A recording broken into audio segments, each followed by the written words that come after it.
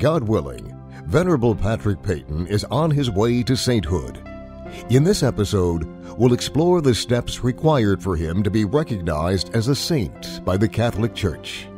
The first step is to have lived a holy life and be recognized by a group of people who either knew the person or are familiar with their life, work, or ministry.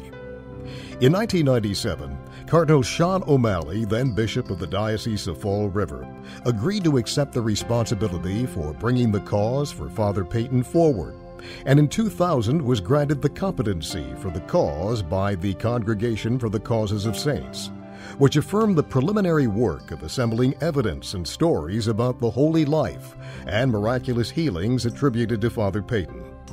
Following his death, many people who encountered Father Peyton spoke of his holiness. On June 1, 2001, then Bishop Sean O'Malley, now of the Archdiocese of Boston, relayed the Holy Father's decree that Father Patrick Peyton was a servant of God. Dr. Ambrosi was appointed postulator since November 25, 2009, Father David Marcham has served as vice postulator, assisting in the coordination of the cause. Once declared a servant of God, an extensive process of documenting the person's life and work begins. For Father Peyton, over 150 people were interviewed in countries around the world. The Cause for Father Peyton delivered 18 boxes of documents supporting Peyton's cause to the Congregation for the Causes of Saints on July 20, 2010. Later, the formal case for sainthood is presented in a summary called a Positio.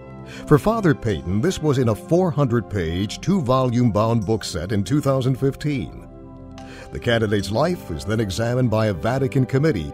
If they determine the person lived a life of heroic virtue and sanctity of life, they vote to send the cause to the Holy Father. On December 18, 2017, Pope Francis declared Father Patrick Peyton, CSC, venerable. This was a day of great joy for all those who are inspired by the message and life of Father Peyton, especially for Father Willy Raymond, CSC, who today leads the organization founded by Father Peyton, Holy Cross Family Ministries. Once declared venerable, the third stage requires a miracle to be officially attributed to the candidate for sainthood after his or her death. Their evidence must prove of a supernatural healing not explainable by medical treatment or scientific reasoning. Potential miracles are investigated first on the diocesan level. If there is sufficient evidence, the case is sent to the Vatican for further scrutiny. If the Congregation for the Causes of Saints agrees there is a miracle, they recommend the advancement of the cause to the Pope. Numerous people from around the world have written in to share stories of how Father Peyton interceded for them with God. Not all of these would qualify, but there are some incidents of alleged healing attributed to Father Peyton that are under consideration. According to church law, the promoters of the cause are not allowed to disclose them in public until they are recognized by the church.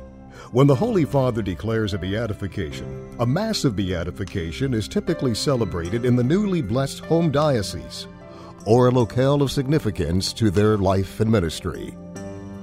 To advance to full sainthood, a second miracle needs to take place and be confirmed after the person was declared blessed. Again, the Congregation for the Causes of Saints in the Vatican reviews the evidence and, if accepted, makes a recommendation to the Pope. The approval of a saint requires the vote of a group of medical experts, then a group of theologians, and finally a vote by a group of cardinals and archbishops. A canonization mass is generally celebrated by the Pope at a time of his choosing. The Diocese of Fall River originally took up the cause of Father Patrick Peyton, an Irishman who was a priest of the Congregation of Holy Cross. Father Peyton's spiritual charism was family prayer through the intercession of the Blessed Virgin Mary. He accomplished his evangelization through the dynamic media of his day radio, film, and television. His work continues in 17 countries through traditional and new media. The Archdiocese of Baltimore took over Peyton's cause in 2008, and he is now advanced to the second stage of Venerable. Father David S. Marcham, vice postulator, is quoted as saying, As Father Patrick Peyton continues on the road to sainthood, we ask Catholics and all people of goodwill to continue to pray for those postulating the cause and examining the life of this holy man.